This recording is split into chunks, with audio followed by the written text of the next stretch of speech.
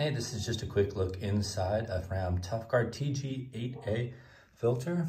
Um, Anti-drainback valve worked really, really well. Even when I had it turned upside down, um, it held a lot of oil. Um, the filter is just like your common pleated um, media. There's your, it's a glued closure, which is common at this lower price point, but it seems fine. The ends are paper, um, probably same material or similar to the filter media itself. And the core looks like it's stainless steel.